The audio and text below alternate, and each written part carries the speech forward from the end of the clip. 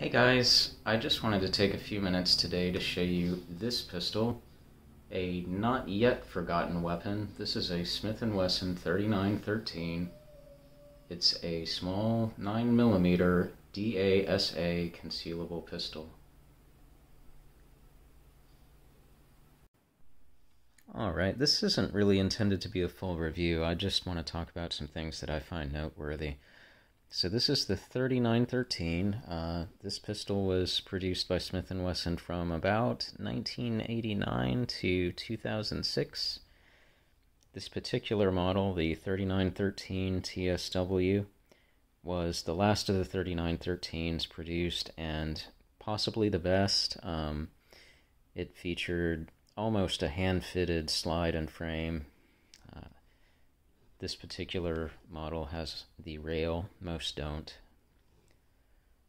Uh, the frame is an aluminum frame.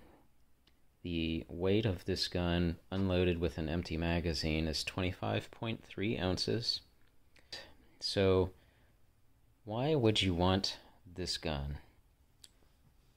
Well, it remains, even in 2022, one of the best options if you want a DASA carry pistol. And so why would you want that? Well, typically when you have a pistol like this, your first trigger pull will be double action, which means uh, you have a longer, heavier trigger pull, which gives you a measure of safety without having to use a manual safety.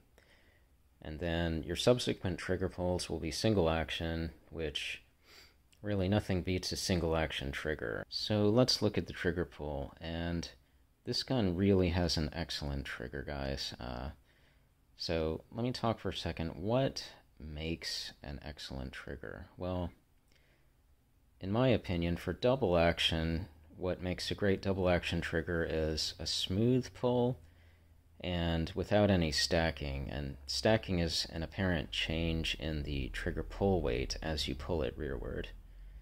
Uh, so this trigger Yes, it's very smooth all the way through, and then it just snaps. And let me show you what happens. So normally when you're firing, you know, the slide will go back, and the next pull will have the hammer cocked, and you'll be in single action. So here's the reset. It's a super short reset from before when short resets were cool, guys. And the single action trigger, very excellent. Uh, it's very crisp, and to me, that's what makes a great single action trigger. It's just a crisp trigger, good reset. Um, real quick, what does crisp mean?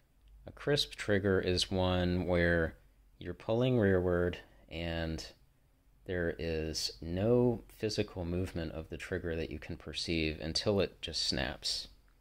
So let me show you again. Here's reset again. And when the trigger resets, you're right on the wall already. There's no no take up to do. And then I'm pulling rearward now. You see there's no like bend or squeezing or sponginess, the trigger just snaps. That's what crisp is, and it feels great.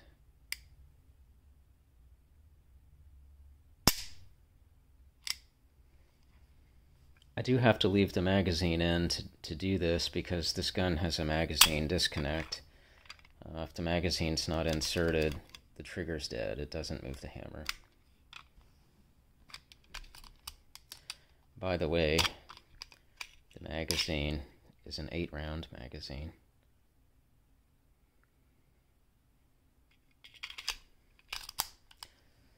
What else is good to know about this pistol? Well, these pistols have some really nice machining done to them. You know, this is a metal frame, factory produced. And look at this checkering on the front strap. You won't see this on too many guns. And this isn't a super expensive gun either. Look at the magazine release.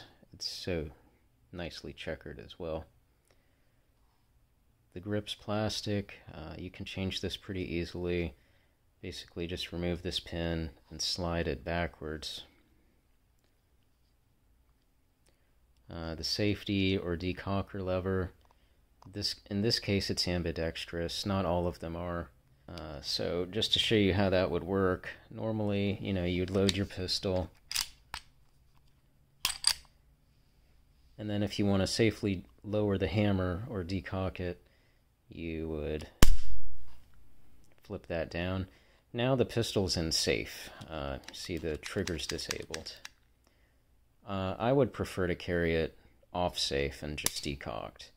So you just push that safety forward. And by the way, these slide mounted safeties, like on this gun or a Beretta 92, you should not think of it as flipping the safety up, but rather push the safety forward. That works much easier. That's how they're designed. Smith & Wesson 3913.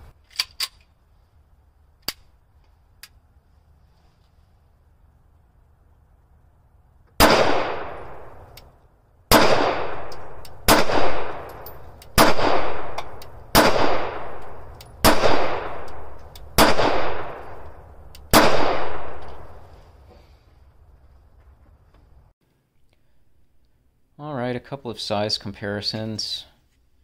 Here's a SIG P365. The SIG is smaller in pretty much every dimension.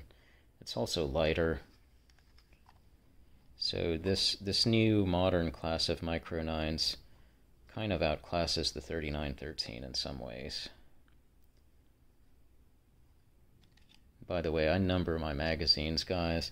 That just helps me keep track. If I have a problem with one, I know which one it is. Next, I think an interesting comparison is the CZ75 Compact. This is the PCR. Uh, this has the same double single action trigger and an aluminum frame. This CZ weighs one ounce more than the 3913, and you get a 15 round magazine instead of an 8. and the size is very comparable. Uh, the CZ is a touch bigger. Most notably, the CZ's wider in the grip. See that magazine's much wider.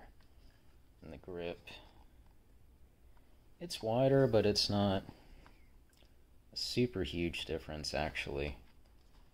To me, the CZ feels much better in the hand. Uh, CZ grip's just very ergonomic. Alright, I think that's all I've got. Thanks for watching.